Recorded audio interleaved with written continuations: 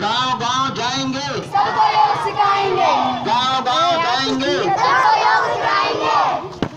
हमारे सभी ग्रामवासियों को सूचित किया जाता है कि आपके गाँव में पाँच दिवसीय योग का कार्यक्रम रखा गया है जिसमें सभी भाई बहनों को योग करने के क्या क्या लाभ है उसके लाभ बताए जाते हैं। साथ ही जितनी भी बीमारियाँ हैं चाहे वो मोटापा हो गैस की प्रॉब्लम हो घुटनों का दर्द हो कमर का दर्द हो आदि सभी बीमारियों के लिए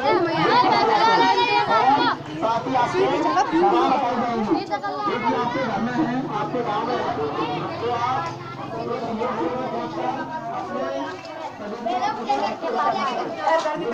तो आप